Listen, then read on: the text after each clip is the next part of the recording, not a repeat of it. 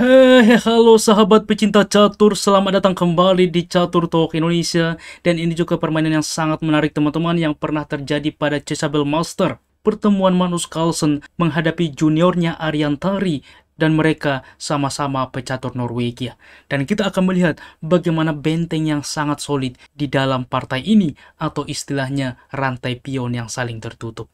Dan kita akan fokus melihat dari perspektif permainan Magnus Carlsen sebagai buah hitam Grandmaster Ariantari Putih mengawali permainan dengan pion ke-4 dan Magnus Carlsen merespon dengan E6, salah satu pertahanan yang cukup solid, yaitu pertahanan Prancis.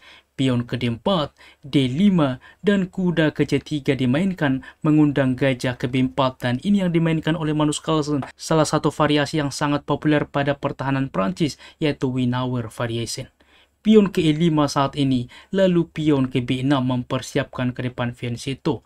A3 tentunya mengusir gajah. Gajah ke F8 langsung mundur dan gajah melakukan skak. Di sini pion menutup teman-teman. Kita lihat sudah mulai terbentuk bagaimana rantai pion ke depan. Gajah mundur ke A4, lalu gajah ke A6 langsung juga menguasai diagonal mencegah ke depan putih untuk melakukan rokade sayap raja kuda ke E2 berkembang, di mana juga menutup ke depan supaya bisa berkembang, kuda dapat aktif, pion melaju teman-teman membuka juga gajah ke depan rokade. Inilah kira-kira ide dari putih. Maka pion ke H5 langsung juga diambil inisiatif untuk menyerang ke depan ke sayap raja.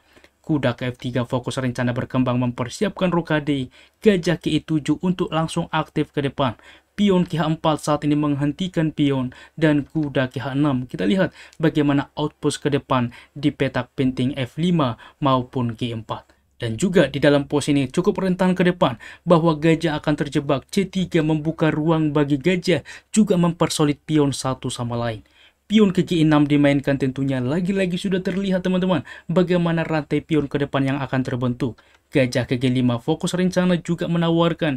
Di sini gajah juga langsung saat ini menerima kuda. Pertukaran Montri menerima. Lalu berlanjut B5 menekan gajah. Gajah mundur ke C2. Kuda ke D7 berkembang saat ini. Manuver ke depan ke B6 dapat juga outpost di petak C4. A4 dimainkan lagi-lagi menawarkan, A6 mempersolid dan rokade berlanjut. Kuda ke B6 fokus rencana juga menekan tentunya pion. A5 menutup posisi juga tentunya mengancam kuda. Karena seperti ini teman-teman, walaupun memang sebelumnya di dalam posisi bahwa menerima pion adalah pilihan terbaik yang bisa dimainkan oleh Ariantari dan ia akan memiliki keunggulan. Pion A menerima tentunya, maka menteri kiri dua adalah intinya menekan kuda. Apa yang wajib dimainkan gajah mukul gajah, kuda dibuat menerima teman-teman. Manuver menteri ke depan ke file F mendukung juga ancaman dan di sini juga mengikat kuda ke depan. Sebagai contoh menteri ke E7 support, maka benteng memukul benteng SK, kuda menerima benteng ke A1 menekan, kuda ke C7 dan G3 saat ini kita lihat menutup bahwa di sini benteng terjebak sedangkan putih cukup aktif ke depan. Keunggulan pun dimiliki oleh putih. Namun di dalam pos ini kita kembali teman-teman dipilih oleh Ariantari dengan A5 menutup posisi mengancam kuda. Maka kuda mundur ke D7. B4 saat ini lagi-lagi mencoba membentuk rantai pion ke depan.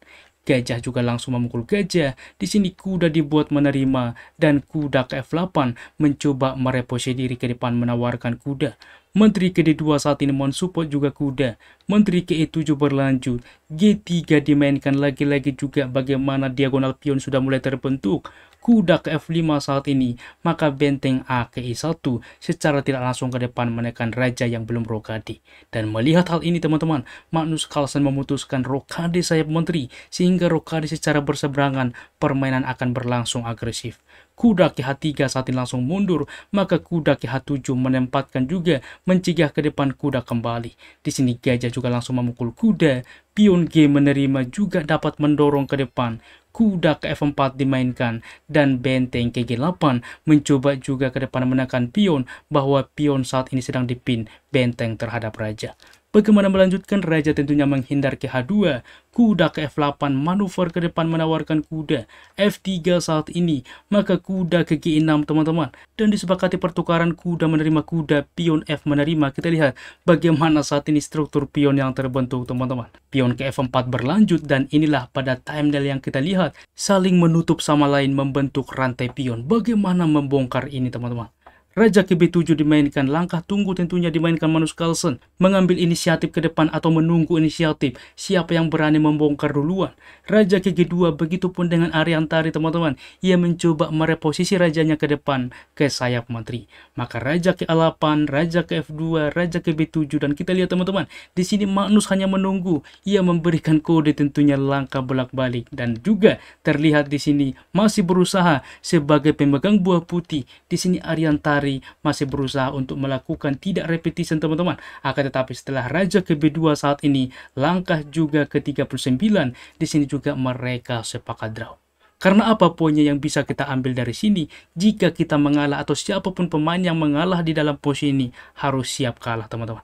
Di sini apabila dilanjutkan G5 misalkan mengalah, maka di sini pion menerima pion. H4 misalkan masalahnya teman-teman, pion menerima walaupun membuka, membongkar benteng menerima, maka di sini benteng KH1 menawarkan. Menteri KH7, maka menteri KG2 teman-teman. Di mana saat ini poinnya ialah justru memiliki pion bebas ke depan. Misalkan pertukaran benteng terjadi menteri ke F7, maka benteng ke H6 saat ini lagi-lagi juga ke depan dapat menawarkan menteri menguasai juga baris ke 6, raja ke B7, maka menteri ke H3, raja ke A8, di sini benteng ke H7 mengancam menteri, benteng menutup maka ditukarkan saja. Dengan ide menteri ke H6 menawarkan apabila diterima pion tak tercegah promosi, menteri menghindar G6 saat ini teman-teman, keunggulan pun dimiliki jelas oleh putih.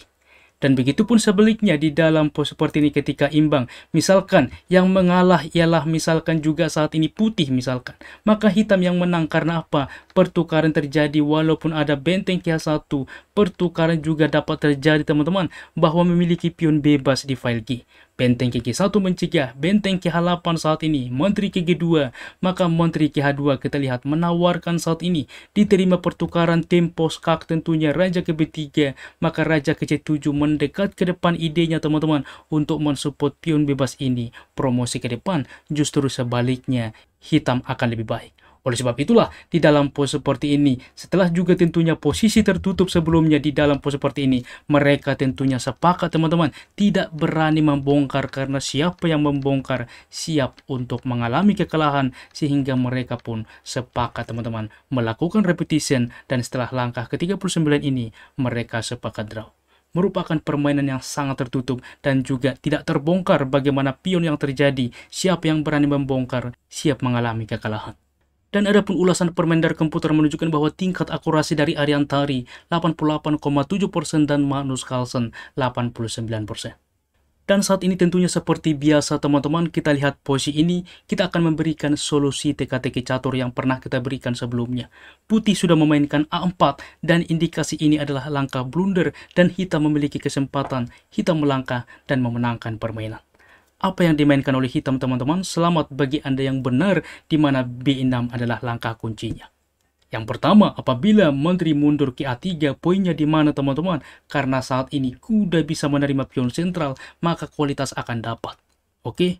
Karena apa? Pion menerima saat ini, membuka juga saat ini baris ketiga benteng menerima menteri, keunggulan pun dimiliki oleh hitam. Yang kedua, setelah juga langkah ini teman-teman B6 misalkan menteri ke C6 misalkan, masalahnya gajah untuk mengancam menteri percaya tidak bahwa menteri terjebak. Jadi teman-teman ketika dimainkan putih A4, opsi terbaik yang wajib dimainkan oleh hitam ialah dengan pion ke B6. Demikianlah ulasan catur menarik hari ini. Jika suka jangan ragu pencet like dan juga silahkan jawab teka-teki catur sebelumnya untuk kita ulas pada video menarik selanjutnya. Terima kasih sudah menonton, keep sharing, and keep loving. Bye-bye.